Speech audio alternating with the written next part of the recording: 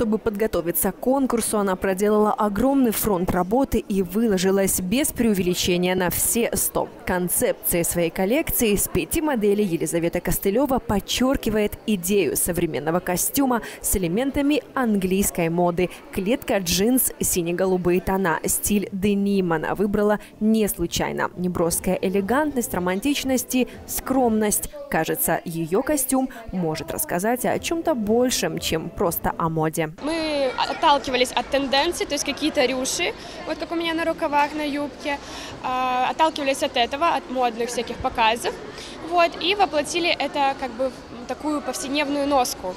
То есть, в принципе, такие костюмы можно надевать и в жизни. То есть отдельно можно и жилетку, можно и блузку куда-то надеть. То есть вот эти рюши, это очень модно. И сейчас клетка тоже популярна, джинсы к тому же, и мы это все совместили.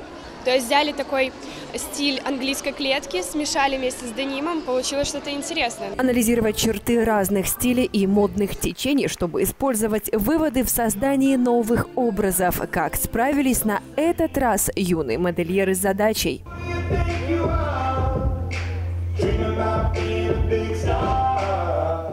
Наша коллекция была создана с помощью разных геометрических фигур. Каждая девочка символизирует определенную фигуру. И мы э, вдохновляемся простотой, да, простым что, кроем, э, простыми цветами, сочетанием цветов. Что можно создать необычные платья из обычного материала, материала и обычных цветов.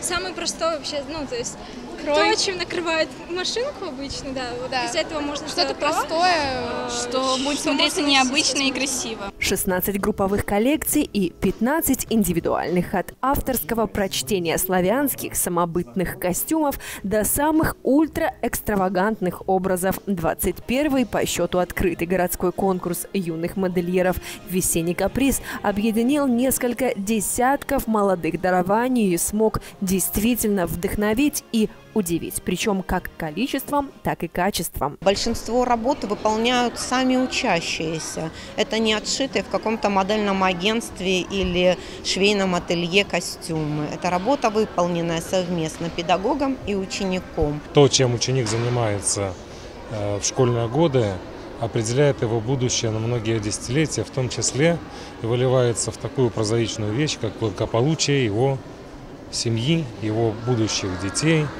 его как гражданина нашей страны.